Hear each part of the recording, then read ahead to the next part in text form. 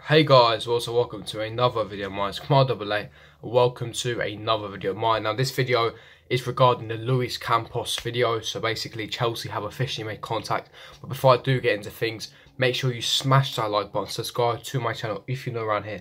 And when you do subscribe, make sure you smash that notification bell so you're notified every time I do upload. And comment down below your thoughts and opinions on the video and also your thoughts and opinions on Luis Campos potentially being our new sporting director for the long term, for the long term future, long the longevity.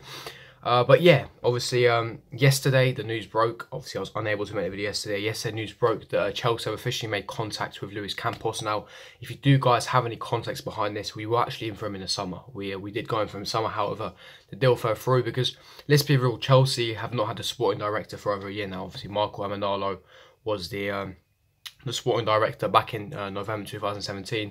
He then left because of the, the power struggle between Antonio Conte and uh, Marina Granovskaya.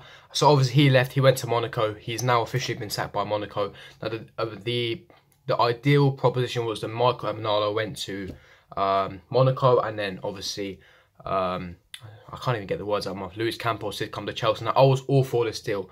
My dream was at the time was that Luis Campos and Jardim uh, link up because that link up 2017. Do you remember that Monaco team? Kylian Mbappe, Bernardo Silva, Bakayoko, Fabinho, uh, Sidibe, Falcao, all the all that top time, Thomas Lemar, that link up, that was all due to Luis Campos find those hidden gems and he'd be perfect, especially with this transfer ban. In my opinion, Luis Campos would be the best appointment that Chelsea can make in this current moment in time. I've wanted him for time. He's the main sporting director that I've wanted for ages.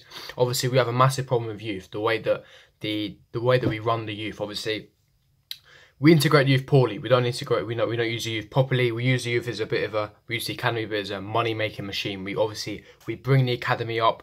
We promise them dreams, we sell them dreams, they never make the first team. They then go out on loan for one year, two years, three years. They then gain a bit of experience, they get better, and then we sell them to a lower club for, a, I don't know, 10 million, 15 million. That's profit. We do that with every player. Currently, we have 42 players on loan. In my opinion, that is shocking. We are second highest in Europe, the amount of loan counts we do have. Atalanta is at first with 80. Don't, don't even question me how they got that many, but it just shows you how poorly run Chelsea are. If you have 42 academy players on loan, then there's something wrong. There's, there's a massive loophole that you know that needs to be needs to be fixed basically. Because how can you have 42 players on loan, but then knowing that not even one of them is going to make the first team in the future? It's so obvious that the, the system is flawed, it's so outdated, and we do need a sporting director.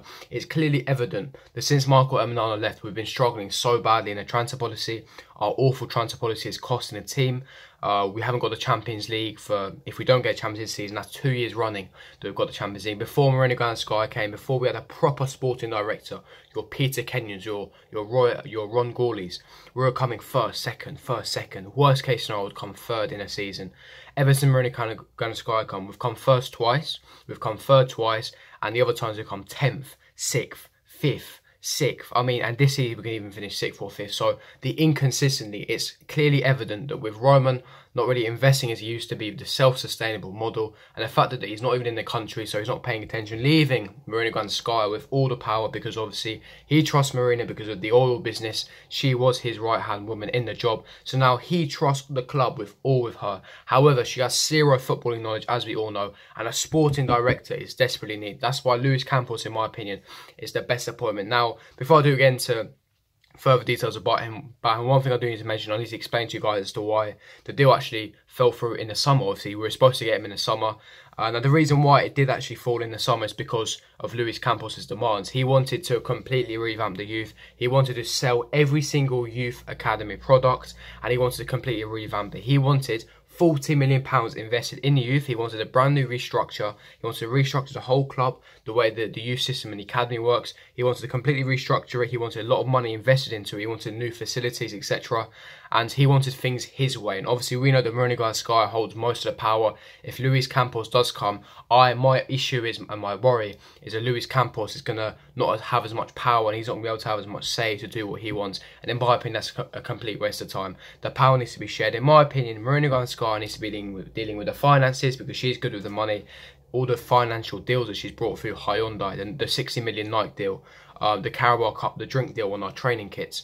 Um, so, you know, she's brought these fantastic deals that brought a lot of profit to our club. But when it comes to the footballing abilities, we need to leave it to Luis Campos. Now, last year he made a famous quote saying Tottenham, it was at the time, obviously, Tottenham had the only, he was basically stressing the importance of fullbacks. And in this system, in this Sarri system, in an attacking philosophy system, fullbacks are so keen. He's stressing that he knows what he's on about. He's got that footballing knowledge. He's so good at youth, and it's obviously evident. We know he's good at youth. You've seen that Monaco 2017 team, which are just earlier just mentioned. He's been fantastic with that, and uh, it's only right that he gets the job, in my opinion. I think that we obviously need a sporting director. We're desperate for it, but Luis Campos is levels above what we had with Marco Emenalo, and definitely for the longevity and the long-term future, Luis Campos is perfect. Now, the way he integrates you, if, we allow him the tools, if we give him the resources, we give him the time to change things up, especially with the transfer ban coming, we're going to have to rely heavily on the youth. He's going to cherry pick those youth players that are perfect and ready made and good enough to go in the first team, and then the rest he's going to sell to make more profit, and then he's going to completely restructure the club. This club, in my opinion, needs desperate restructuring because I'll tell you why. Because this whole club, like I mentioned earlier videos, is a complete tip, is a complete mess, and it's evident on the pitch. We've not been getting the results. The manager's always to blame when it's not always the manager's fault. Look, I'm not saying Sarri's an angel. He's made some mistakes. But what I do need to mention is everyone blame the manager, but you know, letting the board escape, get a free pass once again. The board have been incompetent for the last few years, and it's about time that we start making correct decisions and we actually hire Luis Campos.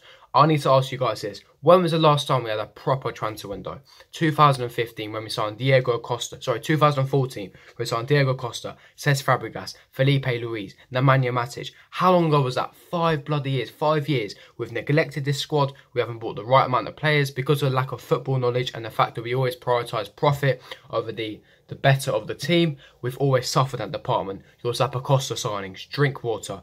Pulisic, as good as he is, he was a profit signing. By buying Pulisic, the merchandise in America, we're going to make so much more. We're going to make double from what we paid for him. It's all about the money. It's all about the profit. And that way we do suffer. You know, this is why that I don't really trust this board going forward. But by hiring Luis Campos, giving the time, the resources, I believe that he can change the structure of this club. And it's going to be better for the future of this club. I think that's the, that's the best way forward. Luis Campos has to be hired. There's no ifs, buts, what. He has to be hired because he's perfect for the future of this club.